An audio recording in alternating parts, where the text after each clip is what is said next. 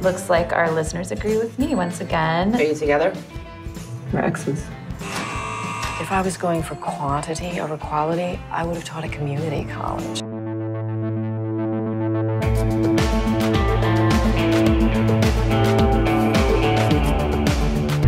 We're sick and tired of being abused and beaten and bashed and killed. I think it's about fairness. I think it's about equal rights. I believe it's the duty of strong women to be forthright and visible. today.